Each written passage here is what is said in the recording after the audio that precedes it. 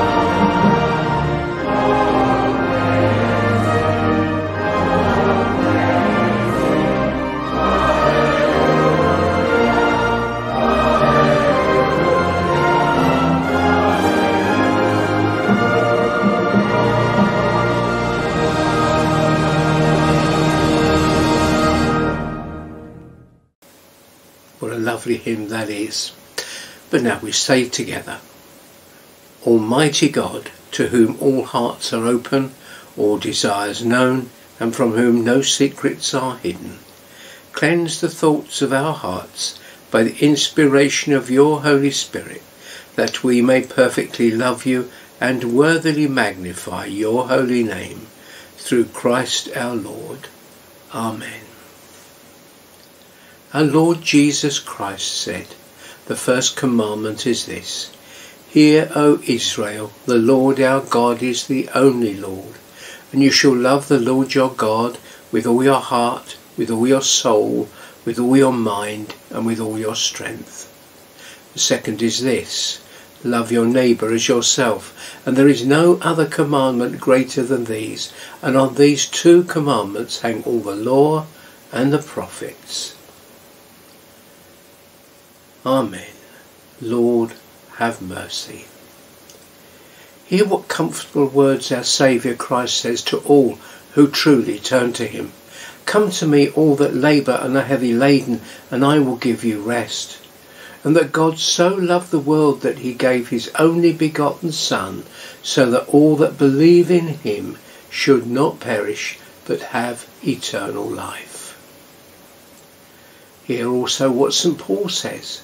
This is a true saying and worthy of all men to be received, that Christ Jesus came into the world to save sinners, and that while we were still sinners, Christ died for us.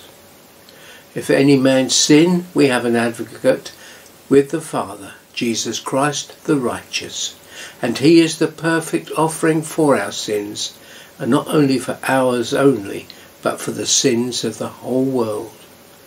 Let us therefore confess our sins together in penitence and faith, as we say, Almighty God, our Heavenly Father, we have sinned against you and against our neighbour, in thought and word and deed, through negligence, through weakness, through our own deliberate fault. We are truly sorry and repent of all our sins. For the sake of your Son, Jesus Christ, who died for us, forgive us all that is past, and grant that we may serve you in newness of life to the glory of your name. Amen. Lord, have mercy. Christ, have mercy. Lord, have mercy. Almighty God, who forgives all who truly repent, have mercy upon you. Pardon and deliver you from all your sins, confirm and strengthen you in all goodness, and keep you in life eternal through Jesus Christ our Lord. Amen. Thank you, Rob. We say together now the Gloria. Glory to God in the highest, and peace to his people on earth. Lord God, heavenly King, almighty God and Father, we worship you, we give you thanks, we praise you for your glory. Lord Jesus Christ, only Son of the Father, Lord God, Lamb of God, you take away the sin of the world have mercy on us. You are seated at the right hand of the Father. Receive our prayer. For you alone are the Holy One. You only are the Lord. You alone are the Most High Jesus Christ, with the Holy Spirit, in the glory of God the Father. Amen. Our collect for today, which is the 16th Sunday after Trinity. Let us pray. Almighty God, you have made us for yourself, and our hearts are restless till they find their rest in you. Pour your love into our hearts and draw us to yourself, and so bring us at last to your heavenly city, where we shall see you face to face through Jesus Christ, your Son, our Lord, who is alive and reigns with you in the unity of the Holy Spirit, one God, now and forever. Amen. Our readings for today. The first of those readings comes from St. Paul's epistle to the Philippians.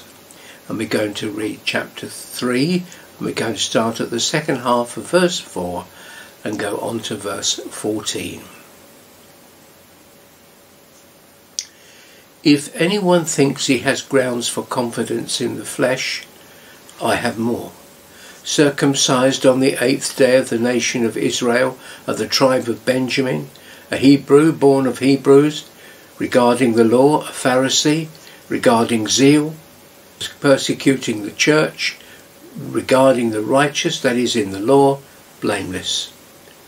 But everything that was a gain to me, I have considered to be a loss because of Christ. More than that, I also consider everything to be a loss in view of the surpassing value of knowing Christ Jesus my Lord. Because of him I have suffered the loss of all things and consider them filth, so that I may gain Christ and be found in him, not having a righteousness of my own from the law, but one that is through faith in Christ, the righteousness from God based on faith. My goal is to know him and the power of his resurrection and the fellowship of his sufferings, being conformed to his death, assuming that I will somehow reach the resurrection from among the dead. Not that I've already reached the goal or am already fully mature, but I make every effort to take hold of it because I also have been taken hold of by Christ Jesus. Brothers, I do not consider myself to have taken hold of it. But one thing I do, forgetting what is behind and reaching forward to what is ahead, pursue as my goal the prize promised by God's heavenly call in Christ Jesus. This is the word of the Lord. Thanks be to God. We now have our gospel reading for this week, which comes from the Gospel of St. Matthew, chapter 21, and we're going to read verse 33 to the end. That's Matthew 21, 33 to the end. Listen to another parable. There was a man, a landowner, who planted a vineyard, put a fence around it, dug a winepress in it, and built a watchtower.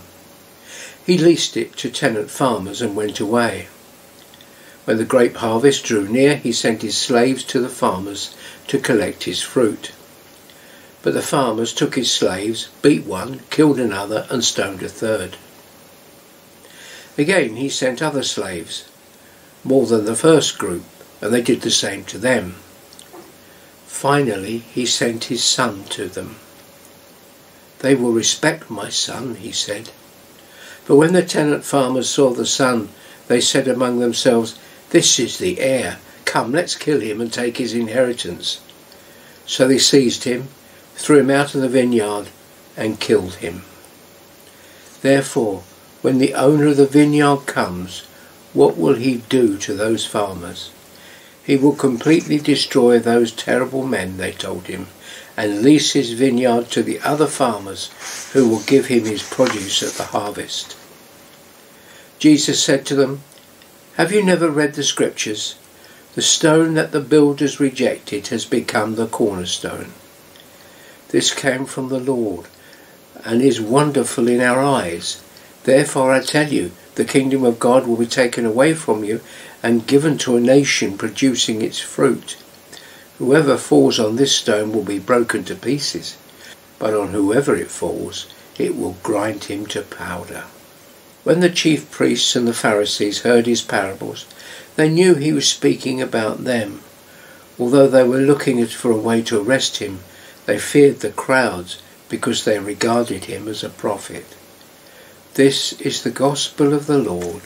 Praise to you, O Christ. And now it's time for us to sing again. Let's sing together, Behold our God.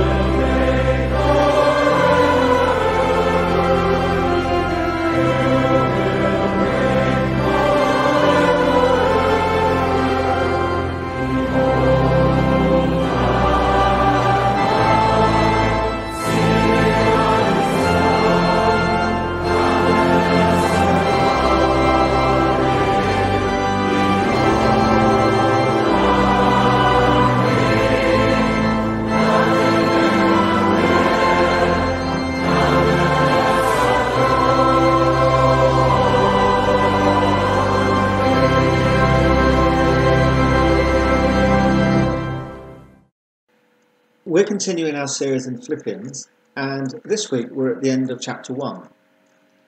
Now, we know that Paul is imprisoned at the time of writing, and last week we saw how Paul was able to see how his confinement had helped to advance the gospel, as he was now sharing the gospel with his guards, and the Philippian Christians, well, they'd become emboldened, haven't they, through Paul's experience. Our passage for today is the final few verses of chapter 1, and we're starting at verse 27.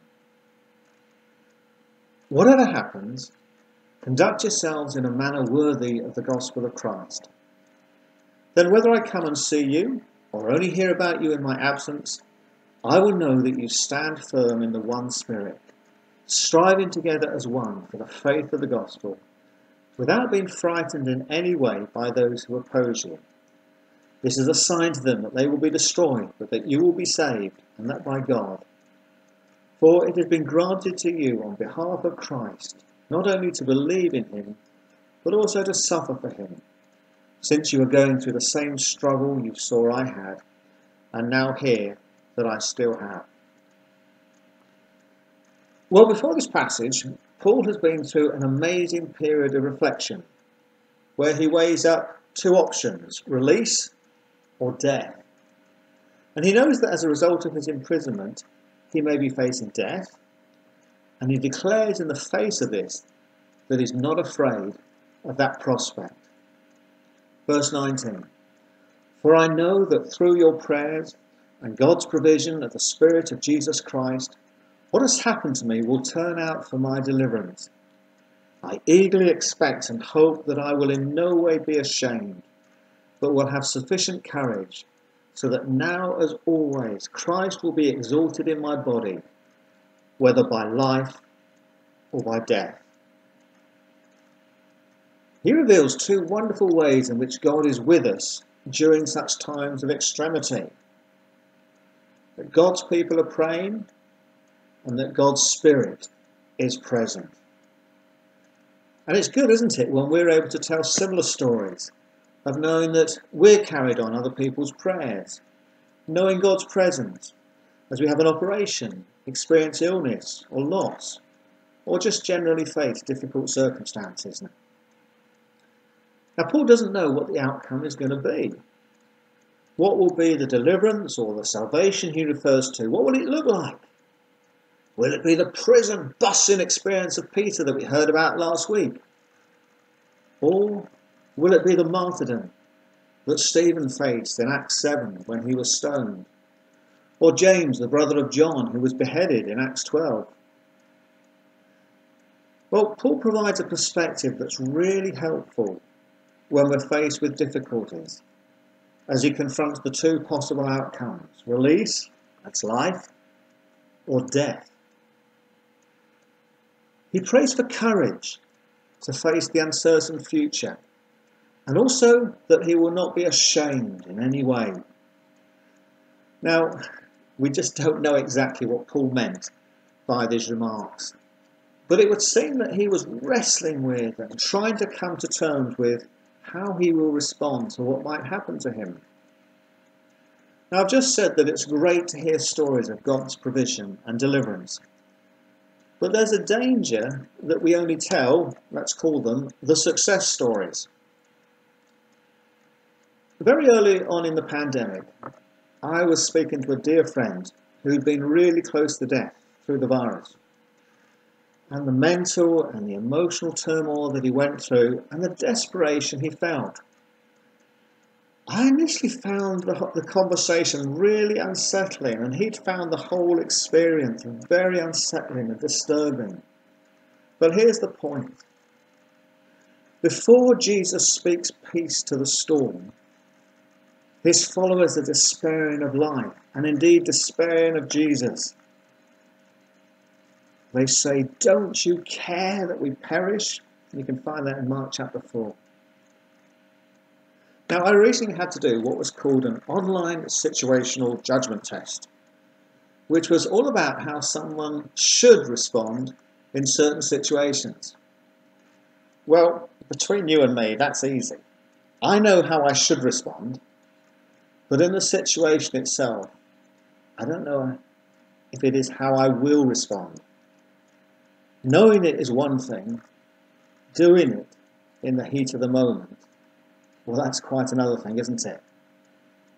But God knows. God knows. He still loves us and is with us when we feel that we're not responding in the way that we think Christians should respond. But we'll come back to that thought a little bit later. Well, through whatever Paul was going through, he reaches this conclusion. Verse 21 For me to live is Christ, and to die is gain.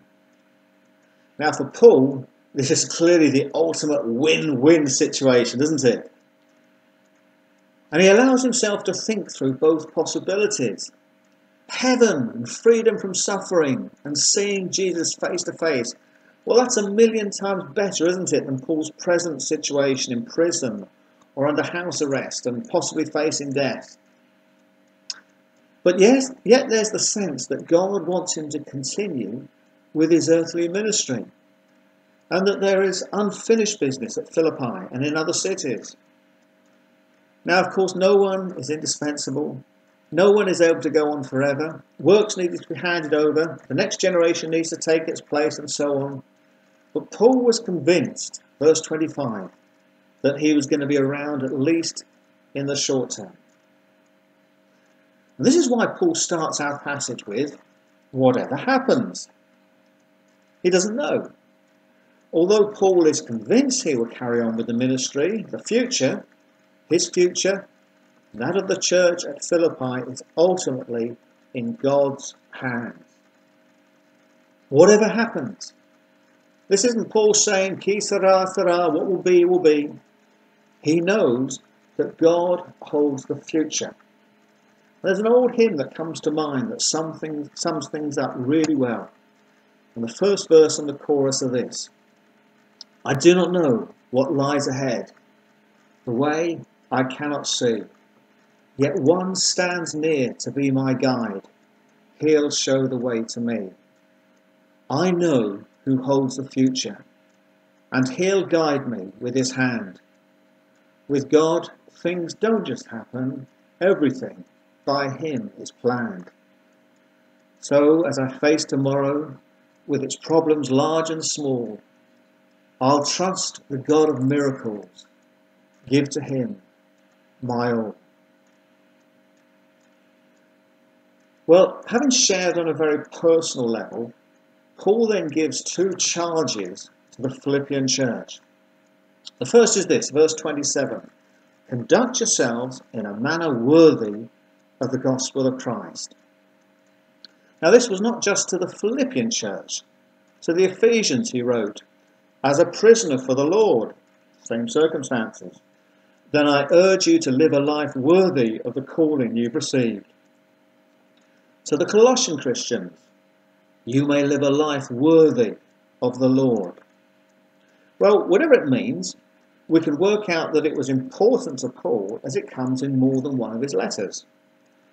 So it wasn't something that was just for the Philippian church and perhaps only them. It would seem to be central to all his, the, the churches and the teaching that he gave them. But there was, however, something that was special to Philippi that may help us understand what Paul was saying. You see, Philippi was a very Roman city, even though it was in the eastern part of Greece, Macedonia.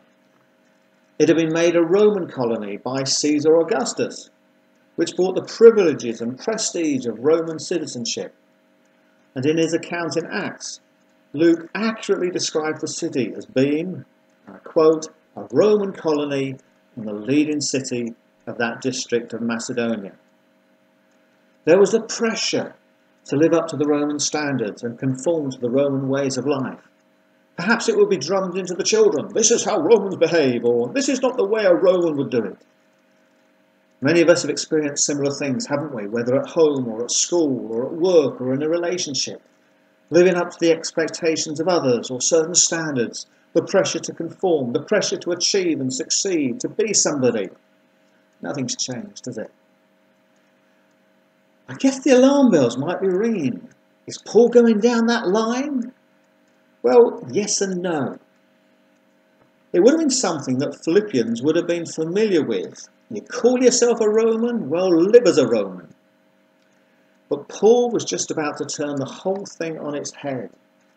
As everything that defined a Roman citizen in terms of his or her ultimate allegiance to Caesar conformity to Roman law and the way of life and the pride and the superiority, superiority that went with it, you knew you were the best of the best. That was not what living a life worthy of Christ and the gospel was about. Bit of a sneaky preview of next week's talk. But living a life worthy of the gospel of Christ is going to be about living in selfless and sacrificial service as Jesus did. But more of that next week. Though you might want to read the second chapter of Philippians just to get the heads up on it. Well, the second charge is this, and again it's in verse 27 Stand firm. I guess we can all define the conditions that we feel are most beneficial to us as Christians. And I'm sure that a lot of the things that would be on any list we come up with have been denied in recent months, especially in terms of being together. I've no doubt the Philippians loved it when Paul was with them. They had a special relationship with him. And I'm sure many would be able to testify to great times of experience and growth under his ministry but Paul says, take me out of the equation. Whether I'm with you or not, it's not the issue. I want you to stand firm in the one spirit, striving together as one for the faith of the gospel. Now, the very first church I led was in quite a state when I took over. At one time, long before I took over, it had been the largest church in the area but it had shrunk considerably, and few thought the church really had a future. Well, because of the state of the church, I was able to make some changes which possibly wouldn't have been allowed if things had been going really well. And one was that I knew it was going to be incredibly tough for Kathy and myself. And we were able to form what I called a core team of those who were committed to seeking God for the future of the church and who would also support us in our ministry. Well, it was tough. It was even tougher than I knew it was going to be. And at times I was so close to giving up.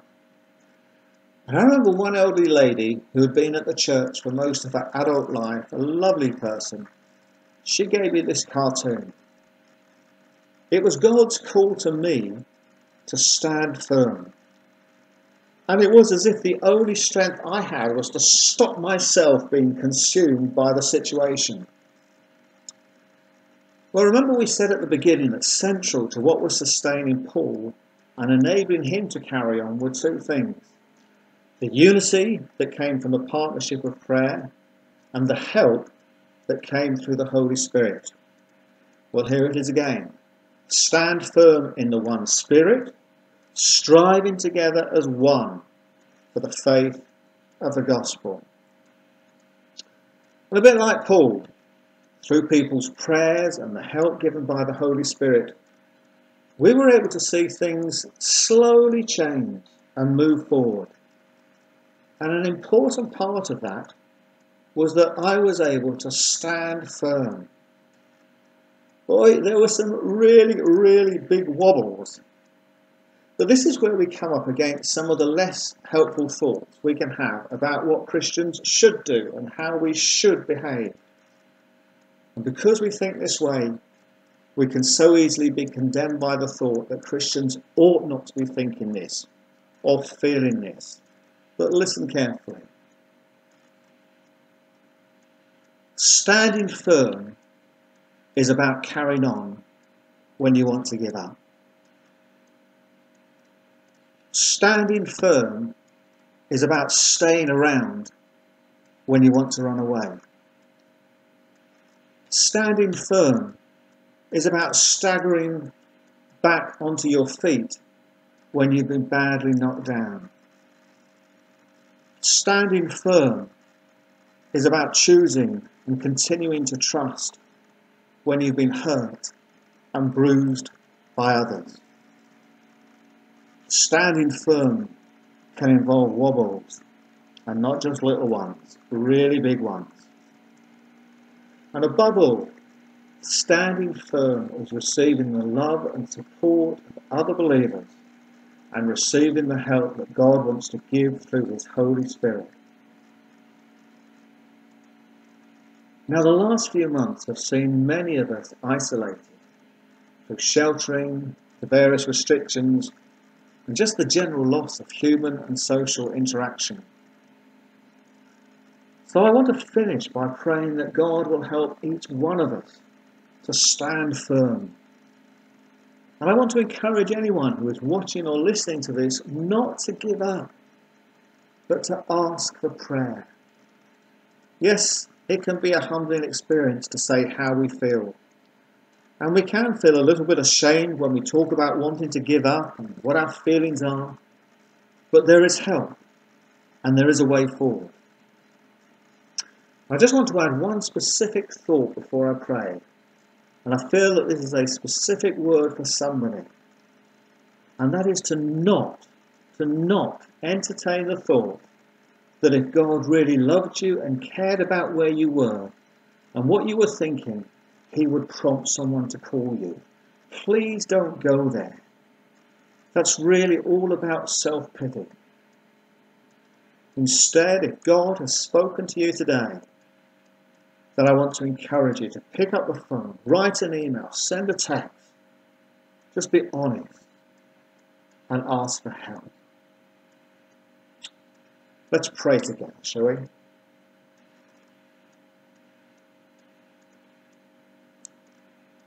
Father, we thank you that we confront and, and we can face up to some very real issues when we read your word. And we ask, Lord, that you will enable us to stand firm. Where we've been wobbling, we ask that you will just bring strength and courage to us. Where we felt like giving up, we pray that you will give us the strength and the courage to, to carry on. Where we've been hurt, we pray, Lord, that we won't harbour those hurts to such an extent that we deny ourselves the solace and the support that you give and that your people can give. So we just pray for the church, for each other. We pray for, for Rob and Sarah, those who lead the church, each one of us, that you will enable us to stand firm and that we will be a, a, a family, a community that is able to pray for each other and to receive the help that your Holy Spirit is able to give. Help us, we pray. We ask this for your glory. Amen. Let's say together the Creed. We believe in one God, the Father, the Almighty, maker of heaven and earth, of all that is seen and unseen. We believe in one Lord Jesus Christ, the only Son of God, eternally begotten of the Father, God from God, light from light, true God from true God, begotten, not made of one being with the Father. Through him all things were made.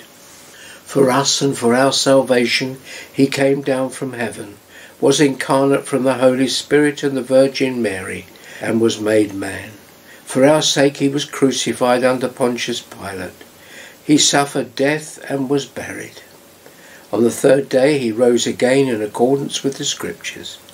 He ascended into heaven and is seated at the right hand of the Father.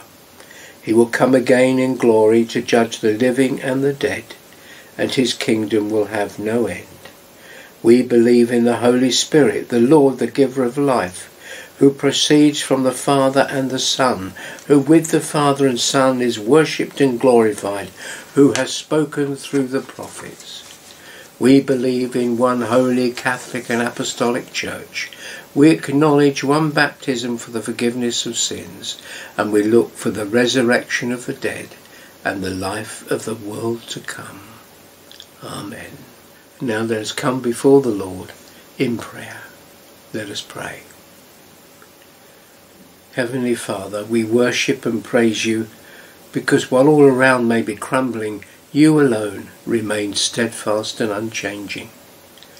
You are with us during all the great times, and you are still with us when the dark clouds gather. During times of trial or joy, you're there, strong, steadfast, and true.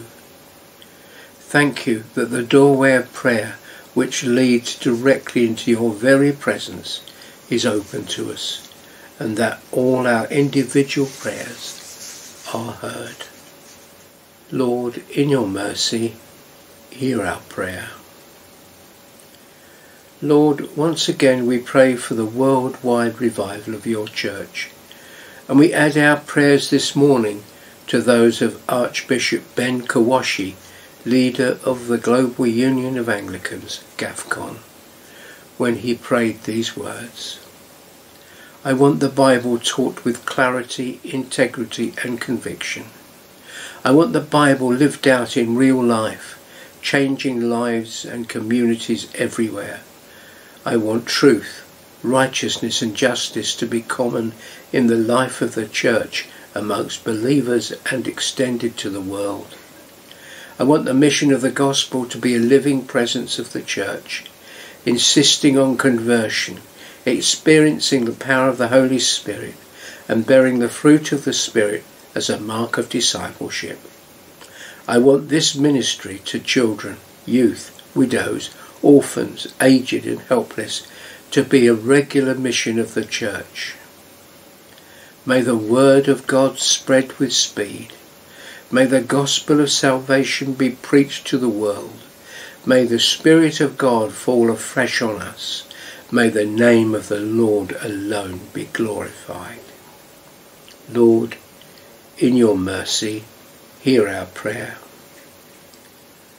Almighty and most merciful Father, whose nature is to be compassionate and kind, show mercy and compassion on all who struggle this day with cancer, especially Archbishop Ben on those groaning in pain of the illness and those suffering through the pain of treatment. Give them grace to cast all their cares upon you. Assure them of your presence in their struggles. Heal them by the power of your love through Jesus Christ who lives and reigns with you and the Holy Spirit, one God, now and forever. Lord, in your mercy, hear our prayer. Lord, we pray for your people here in Hawkinge and all who join us for this time of online worship, wherever they may be. May we in the week ahead draw closer to you. Fill us anew with your Holy Spirit and grant us a fresh vision that we might be more powerful in our witness to those around us. We pray especially today for our vicar Rob Grinsell his wife Sarah, and their son Ben. Comfort, restore, and refresh them, we pray. Lord, in your mercy, hear our prayer. And we say together, Lord, in your mercy, we ask that you accept these prayers for the sake of your Son, our Saviour, Jesus Christ. Amen. And now, before we join Rob in the church for Holy Communion, we'll sing together that lovely hymn, Come, Thou Fount of Every Blessing.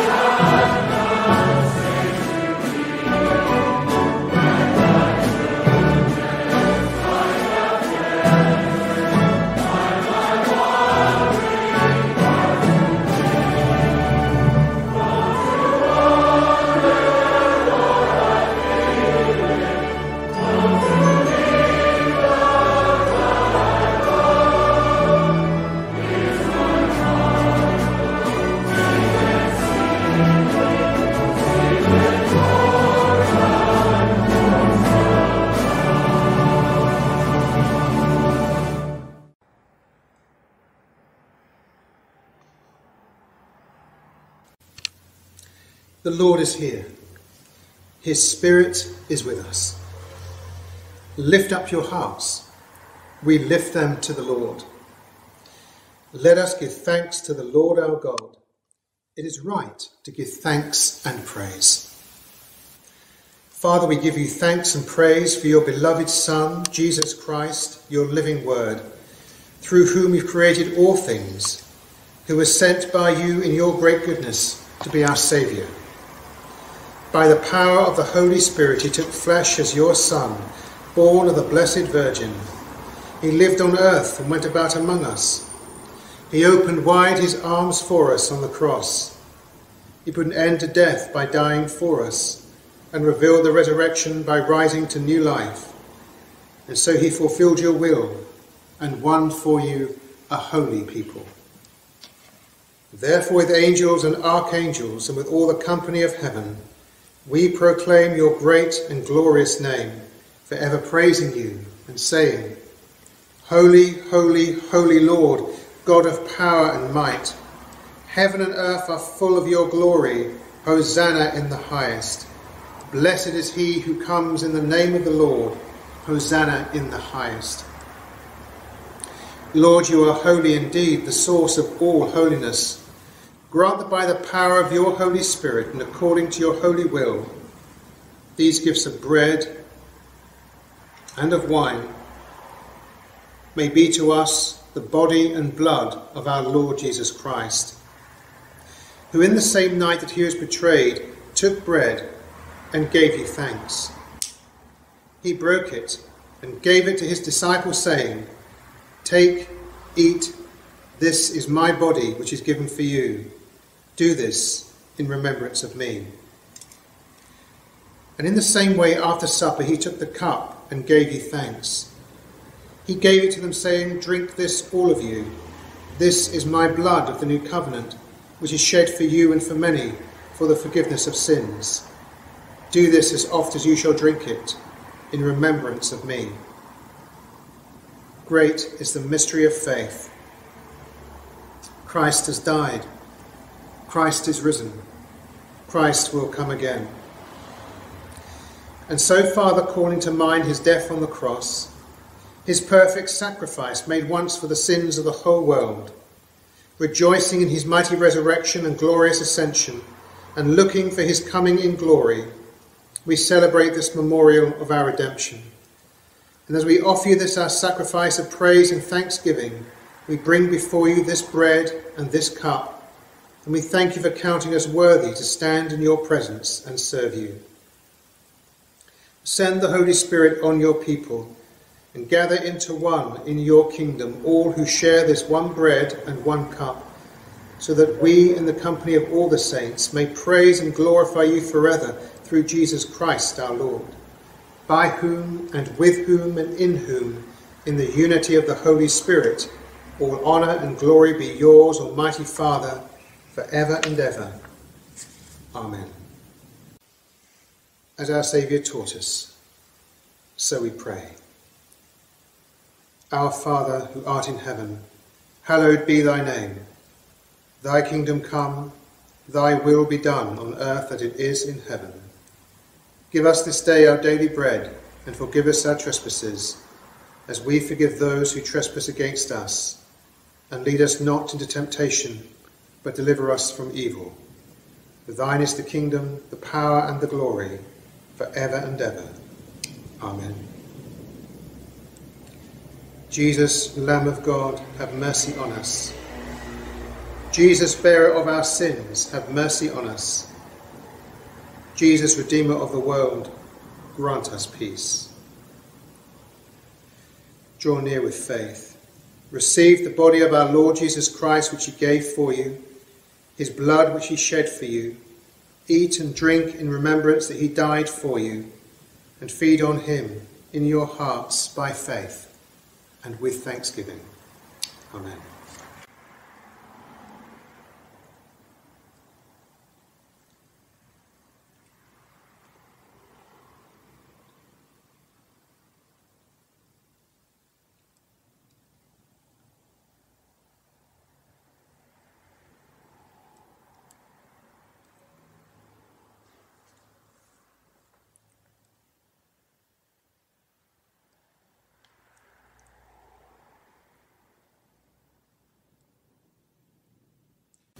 Almighty God, we thank you for feeding us with the body and blood of your Son, Jesus Christ.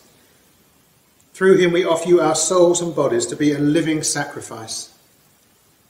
Send us out in the power of your Spirit to live and work to your praise and glory. Amen.